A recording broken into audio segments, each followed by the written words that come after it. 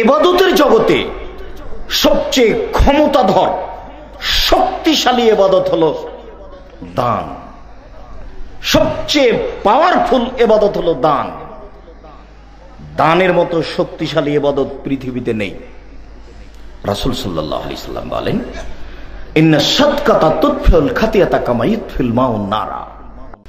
নিশ্চয় দান মানুষের পাপকে মিটিয়ে দিতে পারে।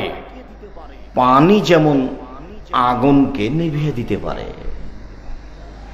তিনি বলেন কবুরে। নিশ্চয় দান কবরের শাস্তিকে বন্ধ করে দিতে পারে। তিনি বলেন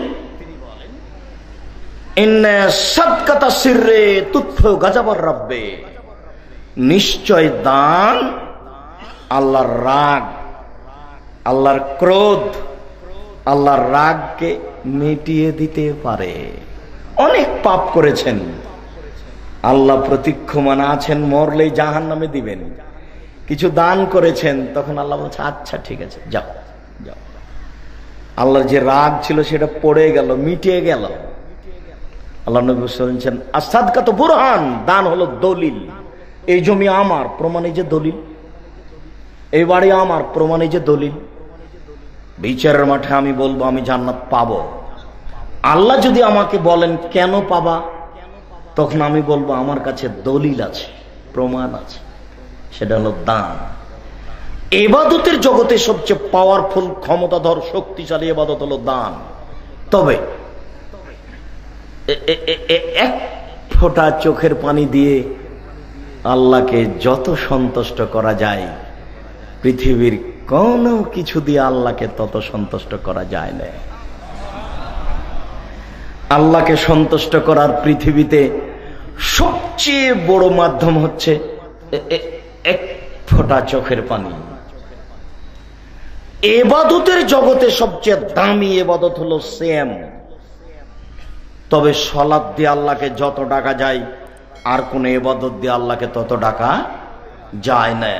অবশ্য এবাদতের জগতে সবচেয়ে শক্তিশালী ক্ষমতাধর এবাদত হলো দান। তবে এক ফোঁটা চোখের পানি দিয়ে আল্লাহকে যত সন্তুষ্ট করা যায়, আর কোন এবাদত দিয়ে আল্লাহকে তত সন্তুষ্ট করা যায় না। তিনি বলেন নারা বাকামিন খাসিয়াতিল্লা হাত্তা এলেজাল লাবানো ধরে গাভীর বান ওলাম থেকে দুধ বের করে ভিতরে ঢোকানো যায় না যেমন। আল্লাহর ভয়ে কাঁদে যে, সে জাহান নামে যাবে না তেমন। আমি এ কথা বলিনি, এ কথা মোহাম্মদ সাল্লাহ আলি সাল্লাম বলেছেন। তিনি আজ থেকে নিয়ে সাড়ে চোদ্দশো বছর পূর্বে বলেছেন। ওইভাবে হাদিসে আছে। আরবি থেকে আপনাকে আমি বাংলা করে শোনাচ্ছি। আমি আপনাকে প্রথমে বলেছি, আল্লাহর কসম। অল্লাহে আল্লাহর কসম। অল্লাহে আল্লাহর কসম। আমি নব্বই সাল থেকে নিয়ে এখন পর্যন্ত কোনো অপ্রয়োজনীয় বাক্য বলিনি। আমি এটা নিজে বলিনি, আল্লাহর নবী বলেছেন। গাভীর ওলান বাঁটে বানে চাপ দিয়ে, দুধ বের করে ভিতরে ঢোকানো যেমন অসম্ভব, আল্লাহর ভয়ে কাঁদে যে তার জাহান নামে যাওয়া তেমনি অসম্ভব। এ কথা আল্লাহর নবী বলেছেন, এটা আমি বলিনি। আমি আরবি থেকে আপনাকে অনুবাদ করে শোনালাম।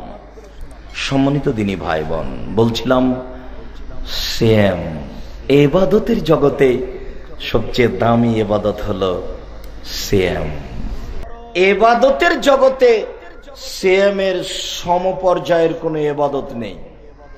কোন এবাদতকে নিয়ে এসে বলতে পারবে না।